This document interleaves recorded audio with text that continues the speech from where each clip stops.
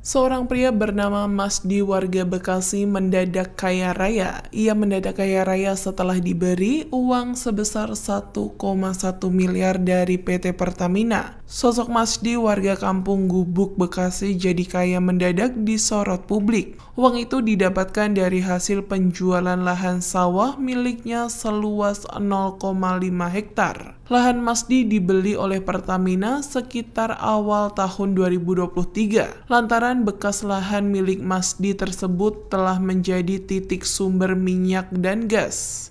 Masdi juga mengatakan bahwa sekitar 10 bulan lalu PT Pertamina membeli kemudian mengeruk tanah di sana karena terdapat sumber minyak dan gas. Ia pun memperoleh uang sebesar 1,1 miliar dari penjualan lahan seluas 5.000 meter persegi dengan harga 230.000 per meternya. Penemuan sumber migas di Kampung Bulak itu telah diketahui sejak 10 tahun lalu.